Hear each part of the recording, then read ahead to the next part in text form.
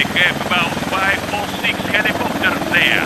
Helicopters our primary target.